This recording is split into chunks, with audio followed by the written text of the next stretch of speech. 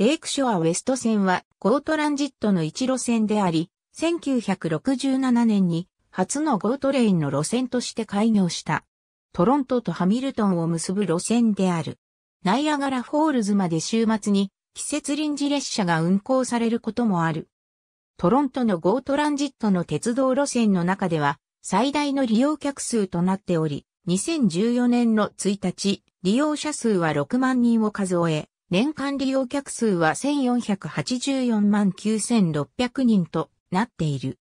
2013年にはそれまでの1時間間隔から終日30分間隔での運行に増便された。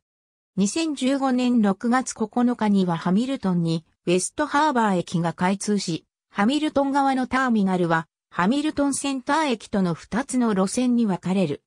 ハミルトンまでは朝夕ラッシュ時のみの運行となり、アルダーショット駅とユニオン駅との間は朝夕ラッシュ時は5から15分間隔、日中は30分間隔での運行となっている。朝夕には急行運転を行っており、エキシビジョン駅、ポートクレジット駅間は通過し、上下3本の列車はクラークソン駅も通過する。ユーラッシュ時に1本のみ、途中駅に停車しないウェストハーバー駅行きの速達列車が運行されている。日中の全列車と朝夕ラッシュ時の一部列車はレイクショアイースト線と直通運転を行っている。ナイアガラフォールズ駅までは夏秋の週末に1日1往復ほど臨時列車として運行される。所在地は基本的に駅名と同じである。